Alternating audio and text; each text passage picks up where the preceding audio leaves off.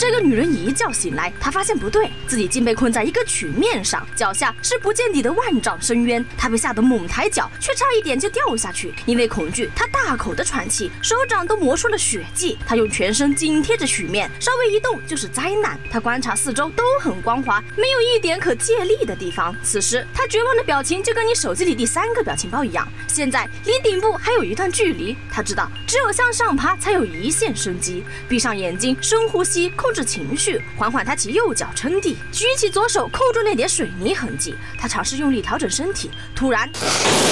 他吓得大口呼吸，头上天空阴暗而压抑。他继续深呼吸，调整情绪。他举起手掌，已是血肉模糊。他忍痛在衣服上擦拭，并用嘴巴尝试吹干血迹，因为只有让手掌干燥，才能更好的向上攀爬。他艰难地撑起双手，继续尝试向上爬去，再次摩擦，让手掌鲜血淋淋。他每挪动一小段距离，就要吹干一次血迹。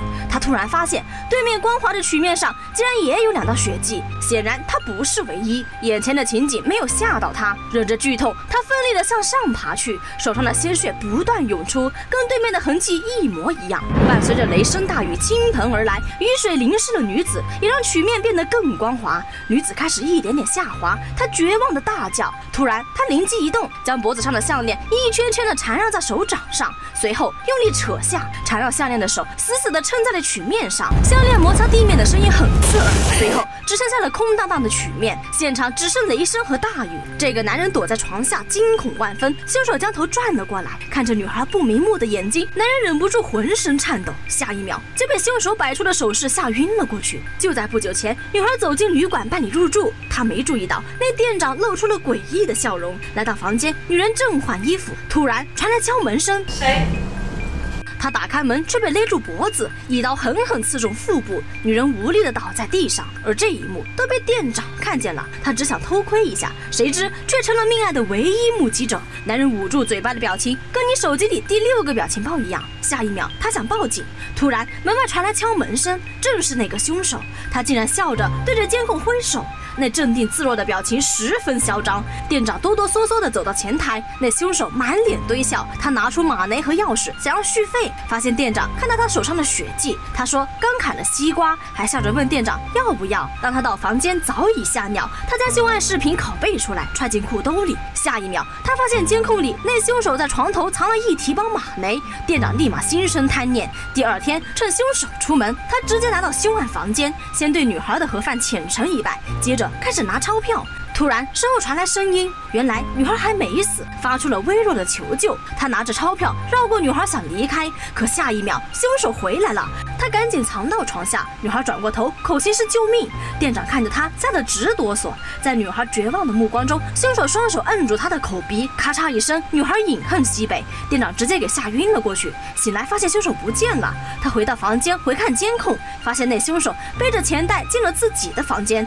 他顿时感觉背后发凉。回头发现那袋钱就在床上，随后他被凶手敲晕了过去。弗伯勒将他当成凶手逮捕，而真正的凶手却在人群中阴笑着向他挥手。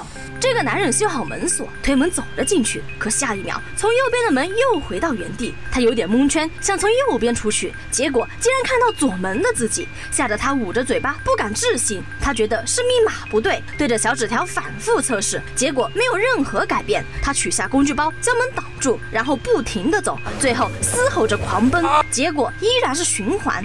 男人抑郁的表情跟你手机里第五个表情包很像，他想通过运动舒缓一下，拿着尺子开始跳绳，跳完再来段机械舞，然后继续跟密码锁硬刚，反复的输入，两边的门都打不开了，他又开始修锁，结果门自动开了，跑进来个球，发现走错房间，又跑回去了。男人接着修，扑哧一声又出现光球，看得男人目瞪口呆，他赶紧修下去，光球消失，护士推开。门，那黑衣人坐着担架穿过房房间，男人赶紧跟着出去，结果又回到了原点。男人非常生气，一生气就想睡觉，那睡姿也是相当的霸气。睡醒后接着修门锁，就在这时，居然修出了一股大风。男人接着修，结果修出来第二个男人。男人二号也想跑，可一样被困住了。他开始像男一号那样睡觉，男一号没有放弃，他脱掉衣服裤子绑在一起，然后将牛奶倒在衣服上。